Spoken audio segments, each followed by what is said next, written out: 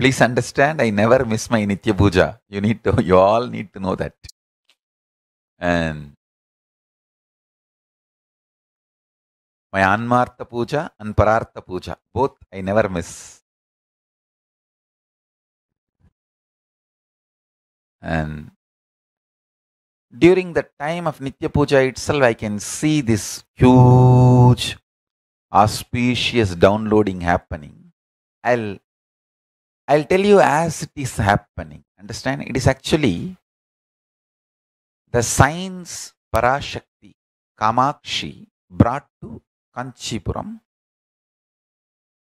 creating the enlightened beings. Creating enlightened beings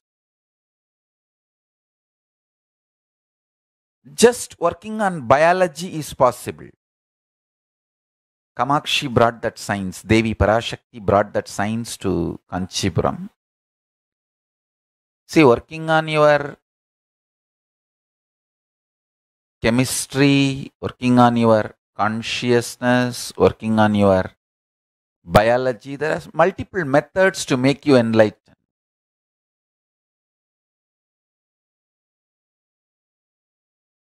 And Devi brought a unique methodology of creating enlightened beings because she has to create literally an enlightened civilization.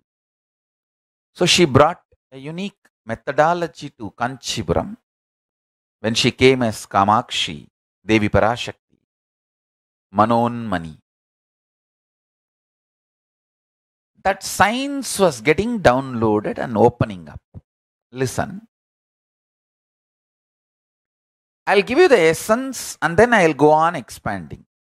First thing, protect yourself from negative verbalizations, visualizations, conversation. Because I saw the words you cherish opens up as a muscle in your body. The words you cherish gets built as a muscle in your body. Understand? If you go on just visualizing and verbalizing, you are a well built person as you want. See, for example, you are a female body and you want a very beautiful body. You visualize your description and just visualization and verbalization that can become your structure in few days. Please listen, listen carefully. I am not lying. Listen to this signs. If you stop negative conversations, negative ideas into your system, for example, you want to have a beautiful looking body.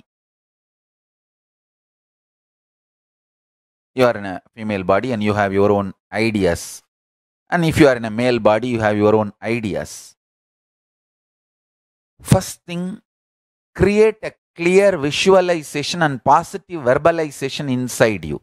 Second, do not engage with anybody who says you are ugly. Do not have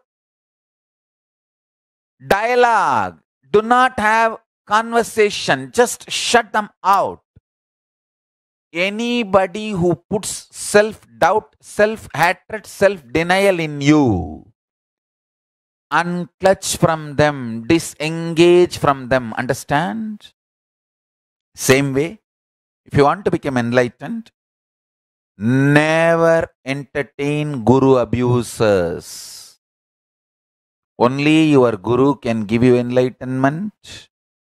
Do not engage with guru abusers.